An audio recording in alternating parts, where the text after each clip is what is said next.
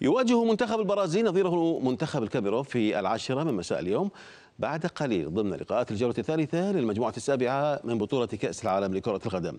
البرازيل حسمت التأهل من الجولة الماضية في حين أن منتخب الكاميرون لا بديل أمام سوى الفوز في مواجهة الليلة لو أراد مواصلة المشوار إلى الدور ثم النهائي.